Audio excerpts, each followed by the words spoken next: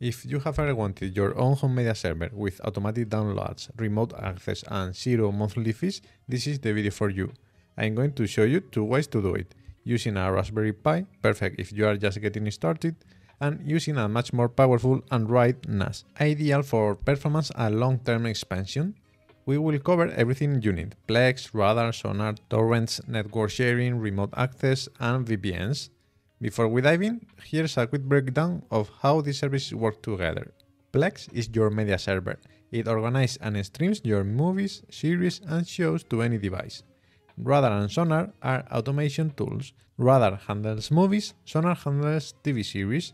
They both watch for new releases and add them to your download list automatically. Prowlarr is the indexer manager. It connects Radarr and Sonarr to Torrent and other search engines. Transmissions, or qBittorrent, is the actual download client. Once Radarr or Sonarr finds a file via Prowlarr, it sends it here to download. I will also show you Tautulli. This service monitors Plex activity. You can track what has been watched, by whom, and when. Other service I'm using is Samba or SMB, which lets you share the actual video files across your local network. And finally, I'm using WireGuard VPN. This VPN lets you securely connect your home network from anywhere in the world, giving you full access to your shared devices, media library, and even to manage interfaces as if you were in the same local network. By the end of this video, you will know exactly how to build your own automated home media server accessible from anywhere and adjust it to your budget. Let's start with the Raspberry Pi setup. I use a Raspberry Pi 4 with 4GB of RAM connected to a powered USB hub with around 10TB of external hard drives. On it, I installed everything natively on Raspbian, without Docker. Plex for streaming, Radarr and Sonarr to automatically download movies and series, Prowlarr to manage indexers, Transmission for torrents, Tautulli for tracking what have been watched, and Samba to share drives over my network, which I explain in more detail in this video. Also I use WireGuard VPN, which I also explain how to configure it in this other video. It worked great for a long time, and with a recent case upgrade, including a nice tower cooler with RGB and a tiny OLED screen for system stats, the Pi even looks like a mini PC tower. I will leave links to everything you see in this video in the description. And if you find it useful, please remember to subscribe. I have to say that the Pi, despite the small size, it handles all my media needs 24-7 I also use it to share my library of movies and series with close friends, which help us cut down on streaming services subscriptions like Netflix, HBO, and that type of things, so we can keep everything in one convenient place. Now I will show you how to set up everything in the Raspberry Pi, but if you want to skip until I show you how is the LincStation N2, check the timestamps below. Okay, so let's start by installing Plex in the Raspberry Pi. The installation process is very simple. Let's follow the steps on this page, which I will leave in the description, and we will run the commands one by one until everything is ready, and we can enter the Plex web portal. At the moment, we have nothing to add, so let's move on to the rest of the services. To get started with Sonarr, I asked ChatGPT for the steps, as there are no specific steps for the Raspberry Pi on the official website, but the process is very simple. First, we update the repository and system packages, then we install the dependencies with the command you saw on the screen, and finally, we go to the official Sonarr page and use the command that appears for Debian, as this is the system on which the Raspberry Pi OS is based. Finally, wait for the process to finish and open the web portal. Once inside, I recommend you configuring the security as the web form and entering a username and a password. Now that Sonarr is ready, let's move on to Radarr.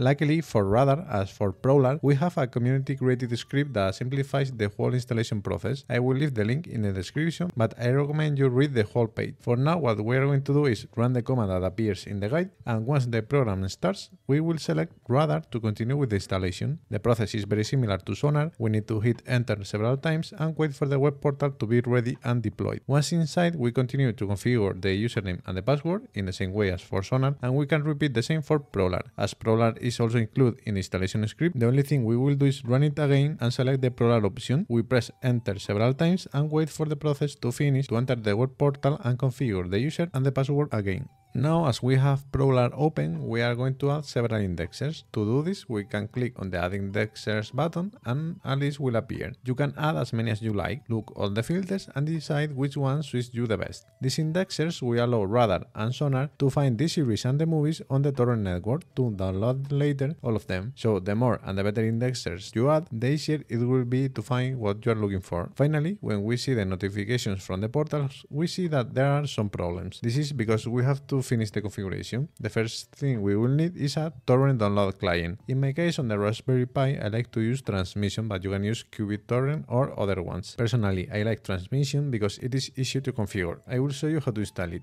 To install it you can see the commands I'm using. I recommend you stopping the video if you need it.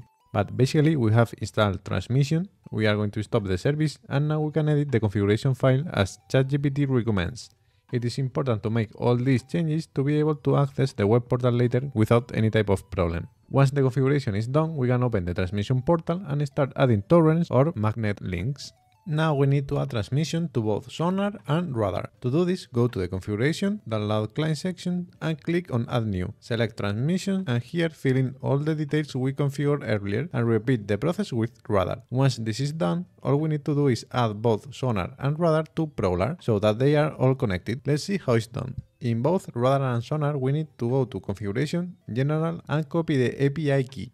Now go to Prowlarr, Settings, Applications and click on Add New. We need to select both Sonarr and Radarr in the same way, so choose one of them enter its API key and click Save. Now all the devices are connected and ready to work. All we have to do is browse both Sonarr and Radarr for films and series and they will automatically download as soon as they are available. They will then be moved to the folders configured in Plex and automatically display so you can see it in any of your devices. For example, we will search for the solo leveling series in Sonarr. When we click on it, we have to choose the path where we want the series to be saved. Once added, we can click on the magnifying glass icon to start searching the indexers. After a while, it will detect all the chapters and send them directly to transmission to start downloading. When the download is complete, the episodes will appear in Plex if we have monitored these folders. This way we can have our own multimedia server on the Raspberry Pi fully automated. Eventually, I needed more power and better storage options, so I upgraded to the LincStation N2 NAS. It has the Intel N100 processor, 16GB of RAM, 4 M2 SSD slots, and two 2.5 inches drive bays, so you can insert HDDs or SSDs here. And also some USB ports, so I will reuse all my existing HDDs from the Raspberry Pi setup to this one. I will leave the link to the LincStation N2 NAS in the description, so if you want to check more in-depth reviews or more technical reviews, you can do it because this is the first proper NAS I have and I'm basically testing how it works. But I also wanted to share my actual setup. Finally, in addition to the 10 terabytes of HDDs, I have added 1 terabyte M2 SSD, so I can run Docker containers and download files in this drive. The system runs Unraid, which is perfect for home media servers. It's easy to use, it has built-in support for Docker and virtual machines, it handles mixed drive sizes, and it has a great community and templates. So it's a huge step up in performance and flexibility.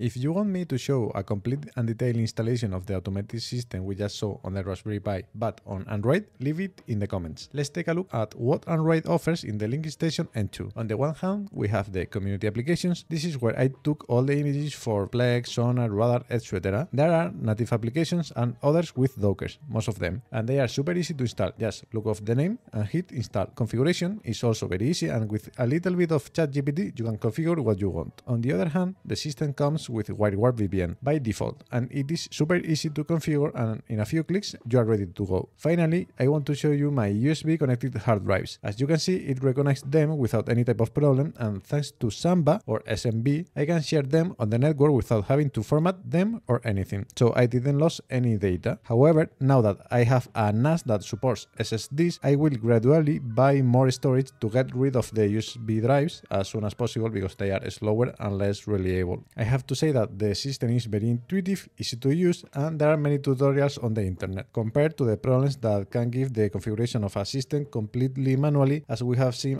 above with the Raspberry Pi. And in terms of performance, of course, the CPU of this NAS is much more powerful than that of the Raspberry Pi, and it is 64-bit architecture, so we will not have compatibility problems with applications as happens with ARM.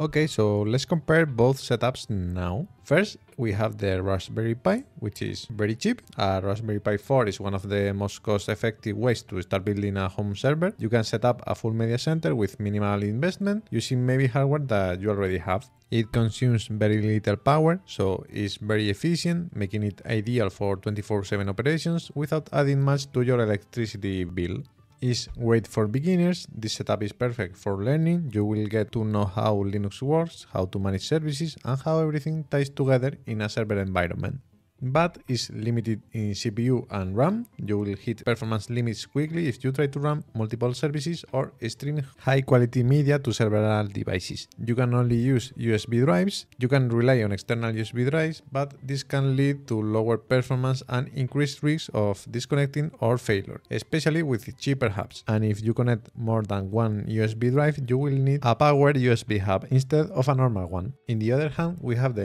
Station N2 with the Unraid system. Here we can run Docker and virtual machines because Unraid comes with native support for Docker containers and virtual machines. You can run almost any service or app you want, from media servers to home automation platforms, all from the same interface. It has also scalable storage. You can add hard drives of any size, mix and match them, and expand over time without losing data or reformatting existing drives. It also supports native VPN with WireGuard. It's easy to set up and integrates perfectly with the rest of your system. It is also more powerful and responsive, but this is related to the hardware because here we have a better CPU, more RAM, and in general a more powerful system. So we can handle multiple simultaneous streams, better transcoding tasks, and background services without slowing down. But the bigger downside is the higher cost.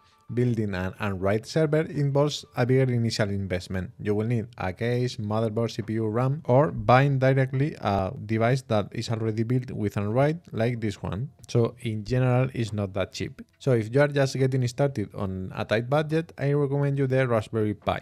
If you are getting serious about media, automation, and you want a better system, I would recommend you something like this with Unraid or a Synology NAS. I think building your own media server is a very fun and rewarding project. Doesn't matter if you are starting with a Raspberry Pi or you are going straight to a full NAS. There is no perfect setup for everyone, so it really depends on your needs and your budget. But once it's up and running, having your own automated system for managing and streaming content is a game changer. Start simple, take your time, and upgrade as you go. What matters is that you take control of your media and make it work for you. Let me know in the comments if you're using a Raspberry Pi, a Synology, an Unraid system, or if you have something completely different. If you want to see how I configure remote access with WireGuard, check out this video. And if you want to see how I set up the Raspberry Pi for sharing my drives into my network, check this another one. Thanks for watching and see you in the next one.